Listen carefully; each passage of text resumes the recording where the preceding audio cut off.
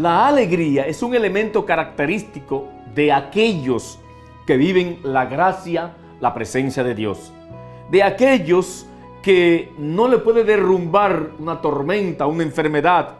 De aquellos que conocen el camino de Dios. De aquellos que viven en comunión con Dios. Es la alegría. La alegría nos enseña a reconocer a Dios. Nos enseña a engrandecer a Dios. La alegría nos enseña a vivir en medio de la tormenta sin que se nos vaya la paz, sin que nos derrumbe el ambiente que nos toca en ese momento vivir. Esa es la alegría. O sea, la alegría es como un instrumento para darnos a conocer la grandeza de Dios, la compañía de Dios, las maravillas de Dios. La alegría es como un canal que nos lleva a entender que Dios no se va nunca, que Dios siempre está, que Dios no se muda. O sea que Dios está presente aún en los momentos más difíciles de nuestra vida. Y por eso me encanta cuando el ángel Gabriel va donde la Virgen María, lo primero que le dice, alégrate. Importante, alégrate. Como indicando, van a llegar muchos momentos difíciles, pero no podrás perder la alegría porque tú confías en Dios. Llegará momentos duros, pero no permita que se te vaya la alegría, porque si se te va la alegría, entonces siente a Dios lejos. Mire qué interesante. Alégrate, le dice el ángel de la Virgen María. Primero, alégrate por la gran noticia que te va a llegar. Alégrate. Alégrate María porque tú fuiste elegida por Dios.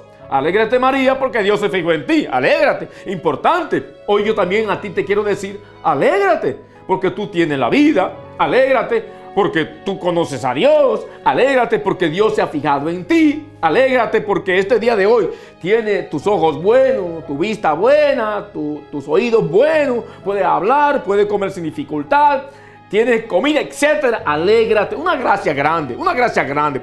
Por eso no podemos perder la alegría por nada. La Virgen María no perdió la alegría por nada. Y ese alégrate conlleva también, como indicando, sí, el que sigue a Dios tiene prueba. El que sigue a Dios tiene momentos difíciles. El que sigue a Dios tendrá que cargar con la cruz. Bueno, todo esto envuelve esa palabra de alégrate, pero esa alégrate significa que Dios será fiel, fiel a la promesa, que Dios siempre está ahí, presente en todo momento difícil, que Dios no se va, que Dios siempre está ahí cargando precisamente el dolor el que tú pasas bonito todo esto. Por eso la Virgen María, ella llevó con tanta alegría la cruz, la cruz del dolor, la cruz de la incomprensión, la cruz de la crítica a su hijo, la cruz de tantos que se abalanzaban contra Jesús y ella mirando y no podía hacer nada. El silencio de María, la gracia de María. Por eso hoy yo te invito a alegrarte. Alégrate aunque estemos en un momento difícil, alégrate. Nunca pierdas la alegría. Alégrate, aunque tú veas lo que venga encima de ti, alégrate, alégrate. Porque si tú crees, si tú tienes fe, bueno, porque venga lo que venga, no podrá quitarte esa alegría. Si tú tienes fe, no podrá poner intranquilidad en tu corazón la tormenta que estamos viviendo, el coronavirus que nos está llegando, los que se están muriendo cerca de nosotros. Hay que siempre estar alegre. Mire, la alegría no se puede ir.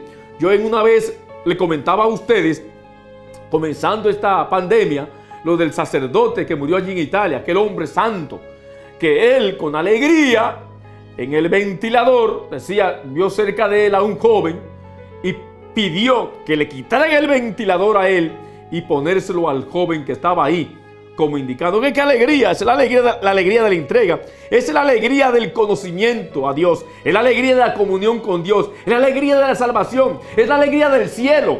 Y aquel sacerdote pidió que le quitaran el ventilador y que se lo dieran a él, al joven que estaba cerca de él. Y decía él, nos vemos en el paraíso. Mire qué bonito, la alegría, el gozo de saber que no iba a morir. Primero, permite la vida para aquel es capaz de dejar que Él muera para darle vida a aquel. La alegría del resucitado, el gozo. Y dice, se cuenta que, bueno, que bueno, yo también lo vi en, un, en, un, mensajito, que él levantaba el rosario, levantaba el rosario como indicando María estaba con él. Y decía él, nos vemos en el paraíso. Qué gracia tan grande, qué alegría tan grande. Saber que en momentos difíciles se cuenta con Dios. Es la alegría del que vive la comunión con Dios. Es la alegría de saber que Dios no nos abandona. Es la alegría de saber que Dios está y que Dios camina con nosotros. Querido hermano y hermana, en este tiempo te invito realmente a gozarte en la presencia de Dios y no perder esa paz, ese gozo que Dios ha puesto en ti a pesar de la pandemia. Que Dios te bendiga.